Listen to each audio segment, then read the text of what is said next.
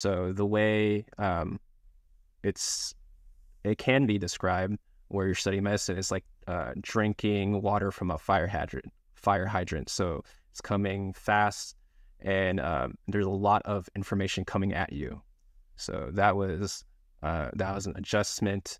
Studying for it, I would I wake up, go to the lecture, and then essentially study um, pretty late in the library and kind of rinse and repeat